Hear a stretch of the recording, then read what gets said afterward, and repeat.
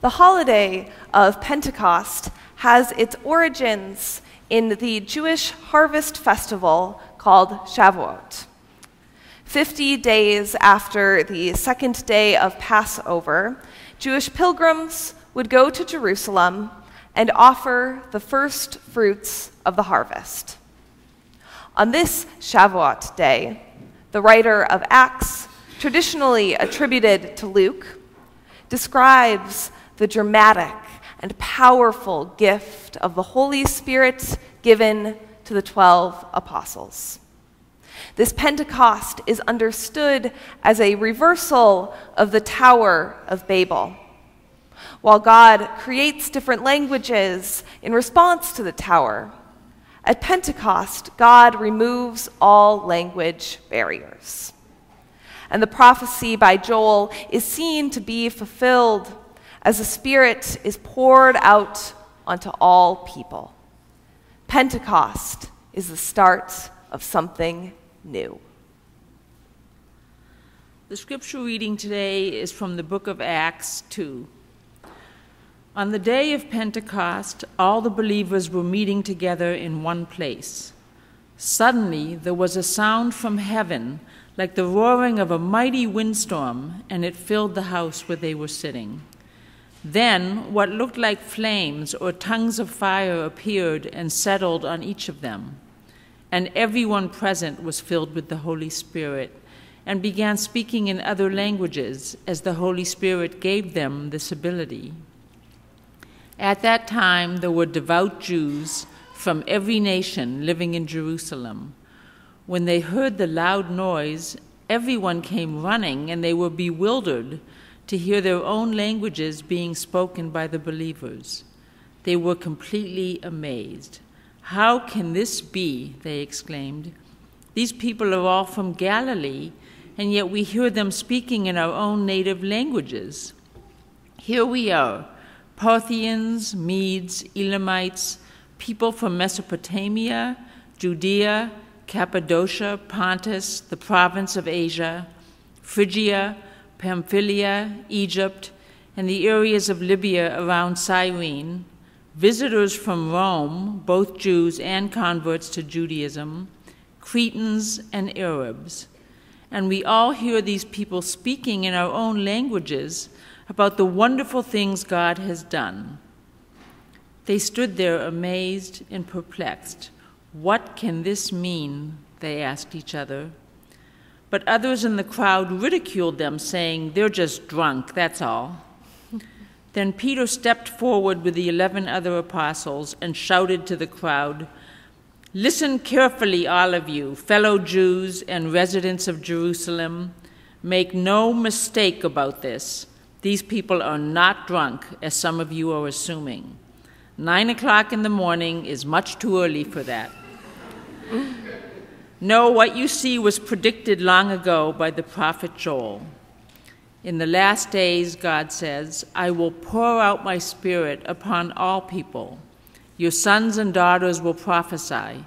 Your young men will see visions, and your old men will, will dream dreams. In those days, I will pour out my spirit even on my servants, men and women alike, and they will prophesy. And I will cause wonders in the heavens above and signs on the earth below blood and fire and clouds of smoke.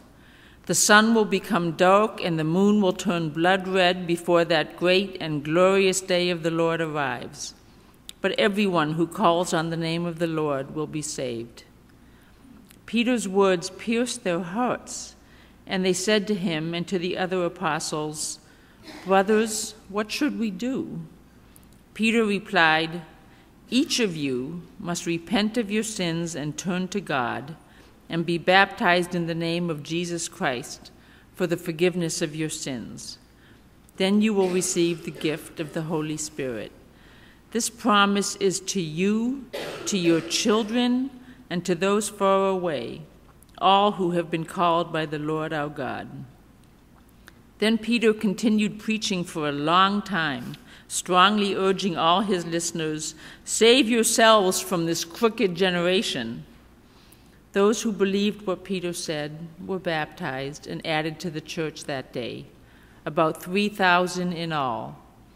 All the believers devoted themselves to the apostles' teaching and to fellowship and to sharing in meals, including the Lord's Supper, and to prayer.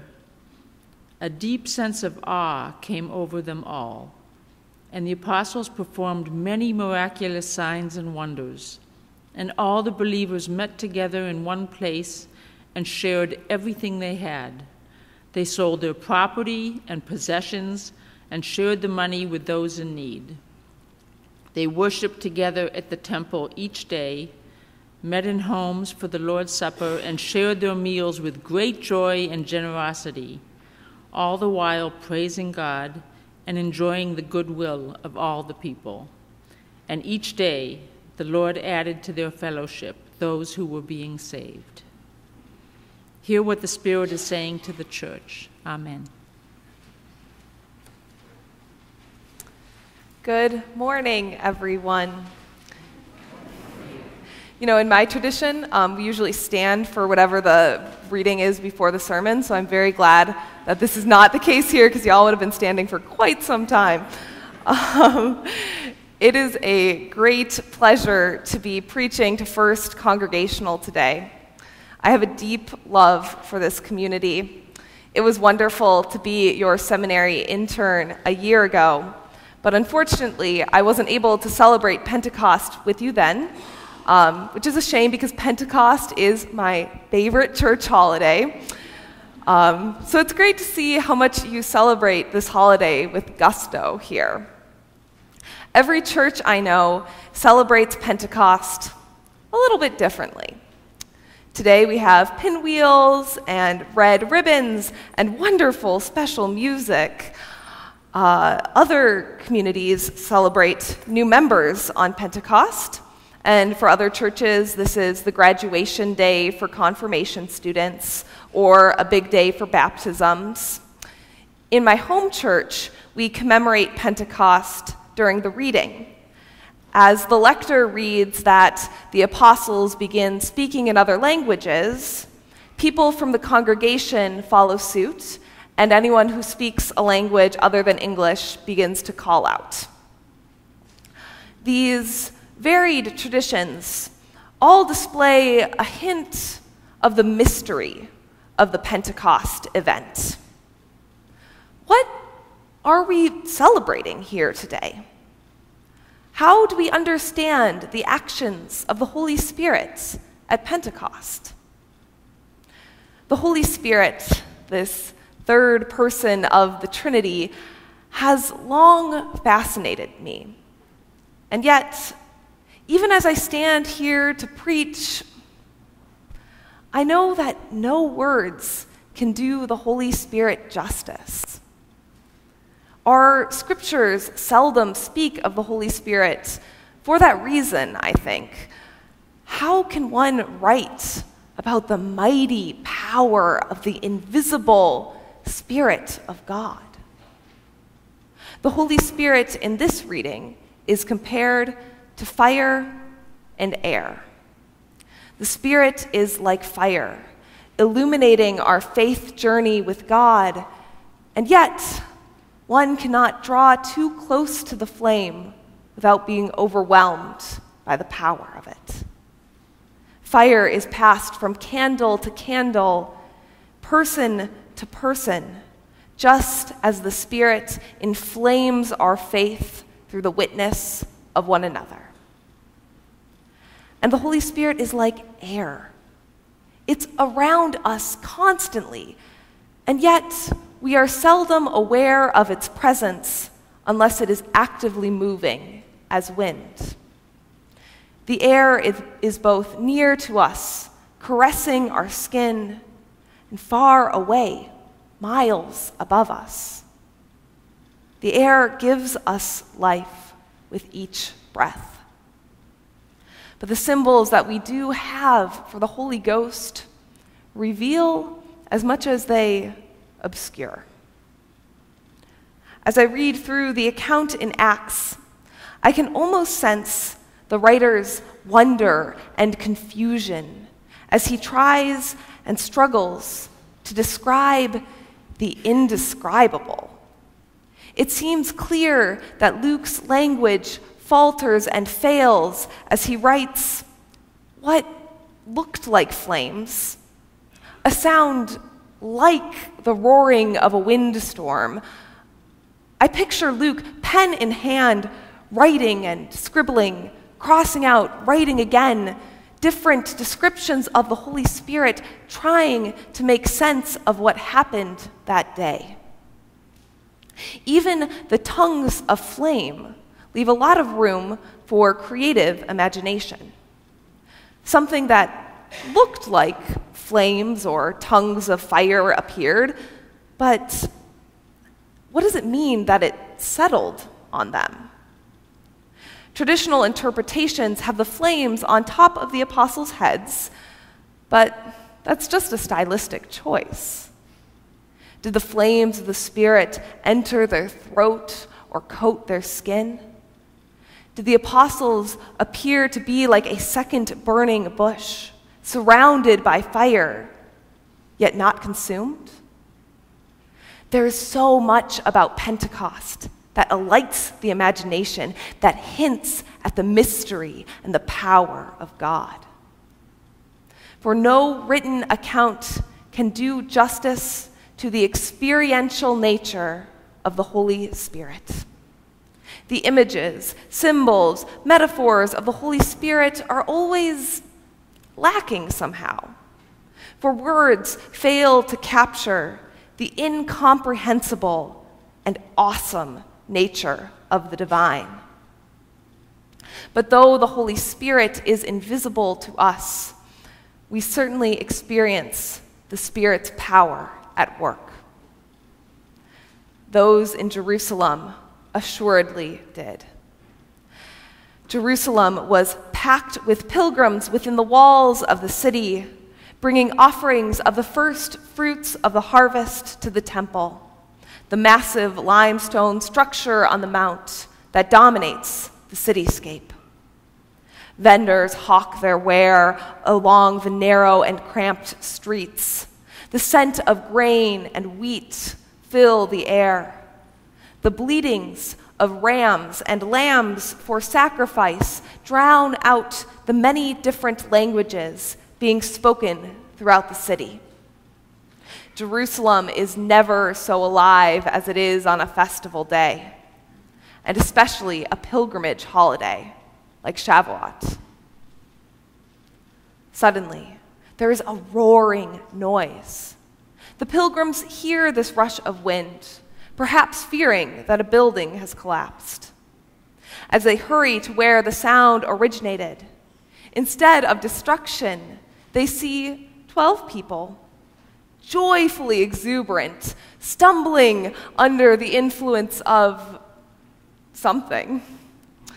Now, there is no scent of alcohol on their breaths, but they are so giddy and alive. What else could it be?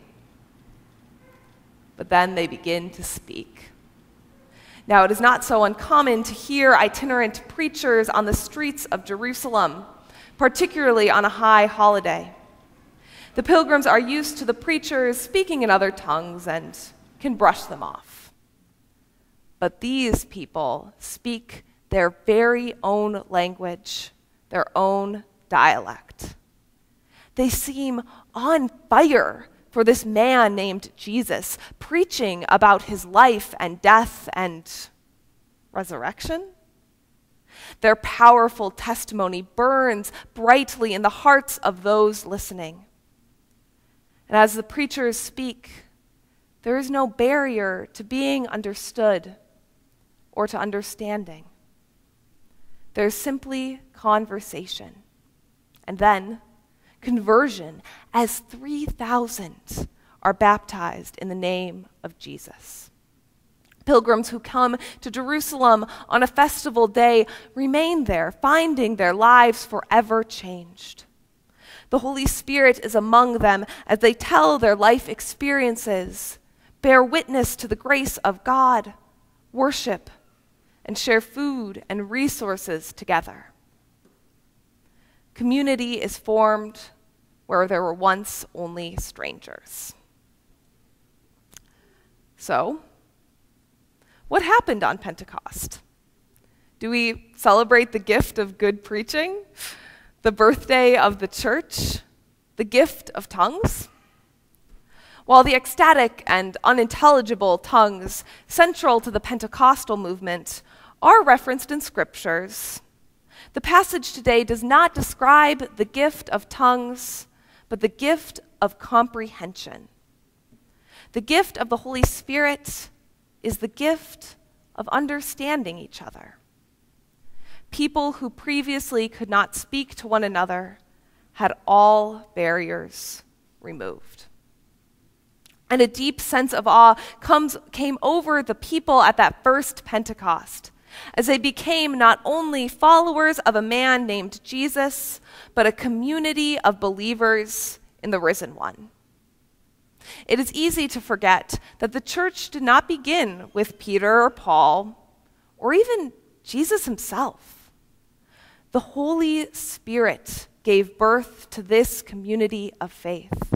And it is the Holy Spirit who continually cares for us as a mother her, her children.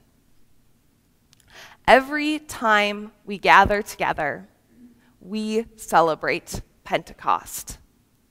Even if we do not have pinwheels and red ribbons in worship, each Sunday is a little Pentecost, a gathering of believers who, at our best moments, truly understand each other, listen to each other, learn from one another. Each Sunday, we recreate Pentecost, gathering to listen to what the Spirit is saying to the church today. As the believers prayed together, broke bread together, shared all things in common, their witness is an example for us today. The truest way to celebrate Pentecost is to speak to one another's hearts to form authentic community. Community is the action of the Holy Spirit made manifest. Now, we may not be able to see the Holy Spirit, but one needs only to look around and witness the Pentecost event still unfolding today. Look around you today. Look at your neighbors sitting beside you in the pews. Their presence is a gift of the Holy Spirit, and you are to them as well. Each time you reach out to your neighbor in the church or in the world, each time you strive to understand someone and be understood, each time you share your gifts and pass on the fire of faith, the flame of Pentecost burns within you and the gift of the Spirit continues on. If the Holy Spirit is like the wind, perhaps Pentecost is too. We cannot grasp the wind, but we feel its movement on our skin. The wind never stops blowing, the Spirit never stops moving, and the fire of Pentecost never goes out. Amen.